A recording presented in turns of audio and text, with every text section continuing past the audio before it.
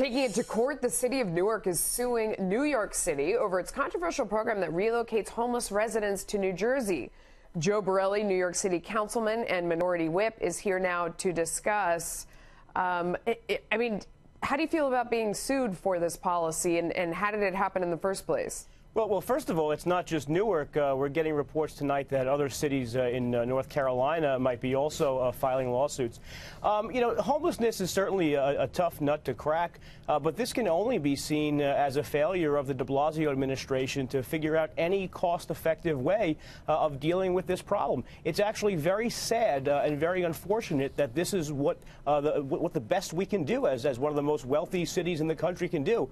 Um, and unfortunately, today we're also getting reports that so many of these people now are even living in, in, in squalor. So it's a, it's a top to bottom bad situation, uh, and unfortunately, it's it's the mayor's name uh, on the front door at City Hall. But he tries to say this was about moving to people to places where it's cheaper to live, where they can find a place to stay. So if our shelters are too full, you know, you take them to Newark or somewhere else where they didn't they have temporary affordable housing Sure, sure. Look, I, and I get it, and I, and I get why uh, some of the mayors would be upset and why they'd be opposed to it. Uh, but uh, this administration came on six years ago uh, promising to uh, build more shelters, uh, more supportive housing, which has tremendous amount of support, bipartisan support around the state. Why hasn't it happened?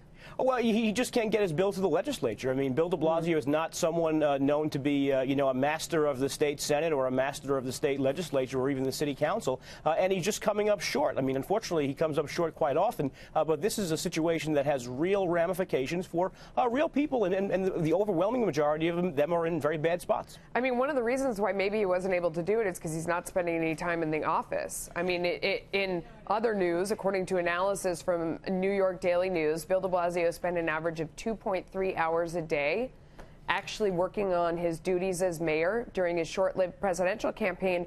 But that, that wasn't that much better than when he wasn't running for office. He was putting in about double that time. So, you know, not even five hours. And that was based on his schedule. It's not like they're logging his time in the office. They're like looking at his schedule and calculating how much of his day he's spending yeah. actually working on issues that, that are related to being the mayor. Look, Melissa, he's also known for taking naps, uh, you know, during that time he's even in the office. Uh, most people learn the fine art of at least looking busy uh, on their job uh, when they take their, you know, first job out of college. Uh, and he just hasn't seemed to, to, to gotten that uh, under control. governing New York City is very serious. we have a budget and a population bigger than the entire country of Ireland. We have more people in uniform than, than the, the Royal Navy, actually.